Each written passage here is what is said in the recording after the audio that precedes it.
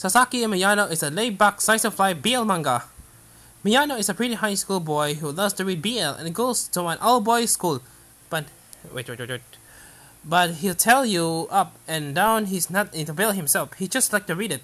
He would want to do that in real life. Truly, the boy dude protests too much. On the first page, he's trying to get help from a school fight he's witnessing, and so the handsome upperclassman named Sasaki shows up for aid. Miyano, who insists he's not into a BL in real life, watches Sasaki move and thinks watching that senpai from behind filed me with a secret slungy.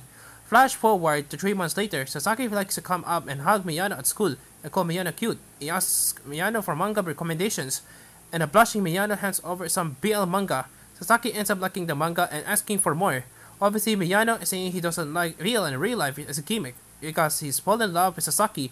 Miyano even comments on how things in his life are happening, similarly to how the BL manga will read, and the characters refer to each other as senpai and kohai, upperclassmen or lowerclassmen, in a way that romanticizes their titles.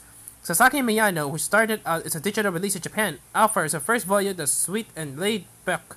There are panels that show yearning, but mostly it feels more slice of life than passionate. The mangaka often writes short little notes next to panels, and there's a concurrent story going on against the main story, where Miyano's class is going to be doing a kame cafe for a cultural festival, because Miyano insists he's not into BL in real life.